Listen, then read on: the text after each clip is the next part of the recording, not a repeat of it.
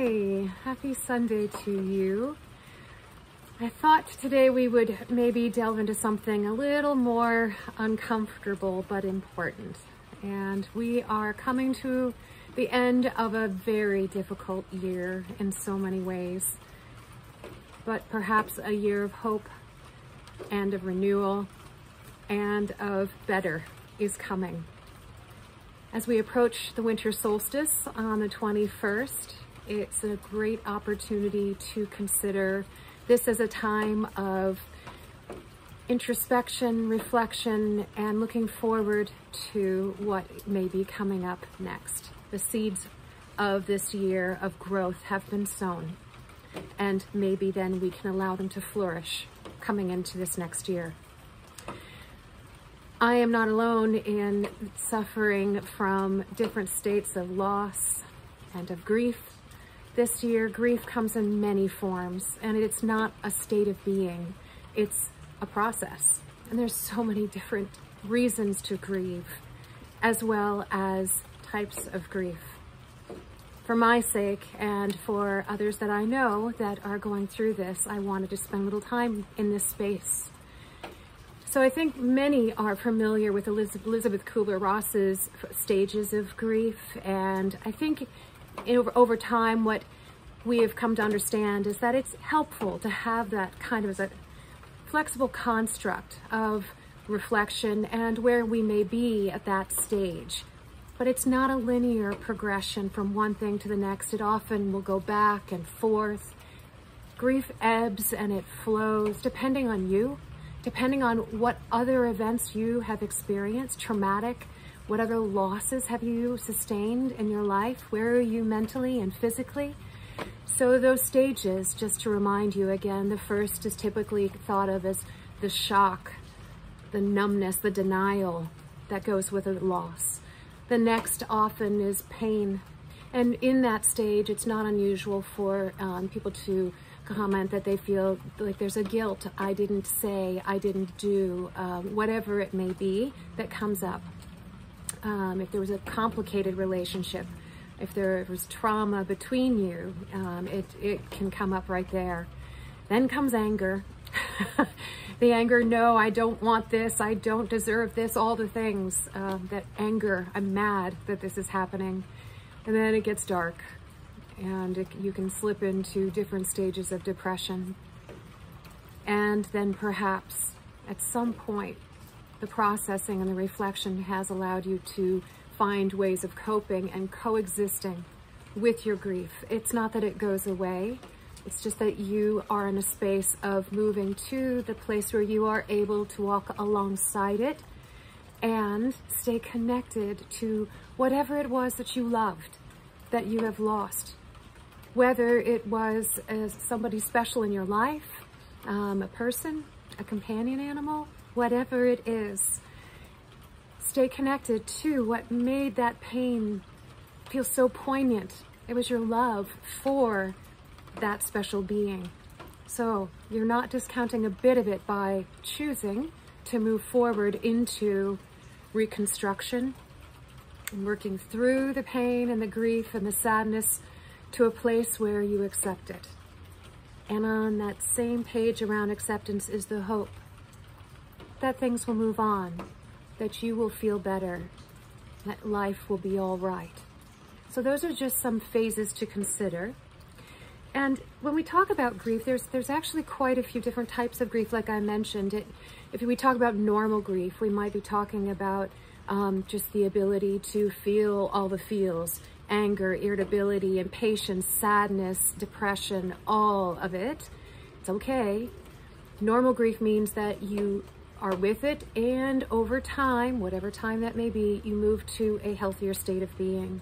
But grief sometimes needs to be delayed. Sometimes it needs to be masked or even inhibited as other things are taken care of. You know, you're taking care of funeral arrangements. You are dealing with um, having to deal with property or whatever it may be, a move, um, different job. So there might be things that you're having to cope with. And those are called secondary losses. There may be other things that are attached to that first loss that you're having to navigate. There's also complicated grief, and there's chronic grief, cumulative grief. Think of all the different types of losses that we might sustain. It's not just death. Death is a traumatic loss. There's lots of other layers of loss. There can be the loss, for example, somebody with dementia. They're still there, but they're not. That's a really tough one. That's called ambiguous loss, where you've lost the connection, but they're still there. So there's really lots of different types of grieving. There's lots of different emotions that arise physically. Oh boy, so many different things may come up, whether it's changes in sleep, if you physically feel ill, your guts are not happy, you don't want to eat, um, or you maybe turn towards maybe unhealthy coping mechanisms. This is a real concern around substance abuse and alcohol, um, lots of behaviors that you're just trying to distract and repress. So that's really what I want to go to next. Grieving takes courage and it takes compassion and patience to allow it to be whatever it is for you. You have no need to perform.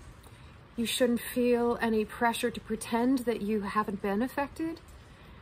And there's no need to lie to anybody about your experience. It is what it is for you.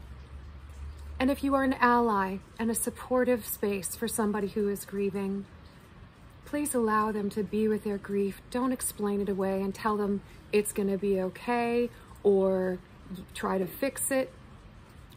Don't try to explain away their grief. They have a right to feel what they are feeling. Let them be with it without judgment. Meet them in the eye, eye to eye. Sit with them, be with them, and allow them to move through. If you are concerned for their well-being, maybe it is necessary for counseling. Sometimes it's really important to turn towards professionals. Please don't discount that. So be that friend as well. If you feel if you're concerned about somebody's physical, mental well-being and you think that maybe they need additional help, connect them, be with them as they connect. All of that is okay.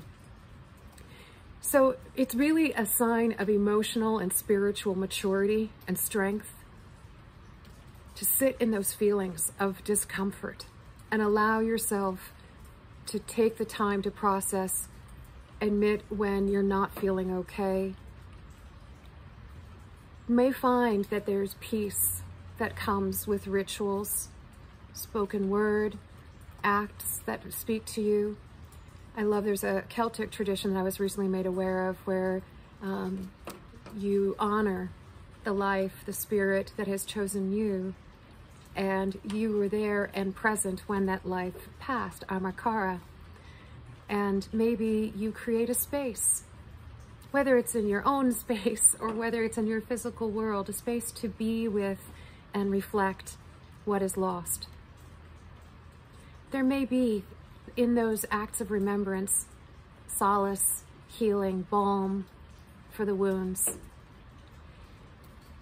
I think that it's important to be authentic and compassionate and be without judgment for yourself and for others. Friends, as we move forward, be with whatever is for yourself. And if individuals really have sustained significant loss, allow them to feel whatever it is that they're feeling and help them navigate their way towards a space where they can coexist, accept the loss, and maybe move towards hope. With that, I would leave you maybe just with a, a, couple of resources. Please don't forget the suicide hotline is there. There are also hotlines around um, depression. And there's a wonderful book I, I came into awareness of um, that is by, I'm say her name correctly, it's Kate Inglis, I-N-G-L-I-S, Notes for the Everlost, a field guide to grief. Some really beautiful words from her. Lean into your family, lean into your friends, lean into your pets, lean into nature, lean into art, lean into music, whatever soothes your bruised soul. From my bruised soul, to those of you out there who may be feeling loss as well or are supporting those that may be feeling that. I wish you peace. I wish you hope. And we'll see each other soon. Bye now.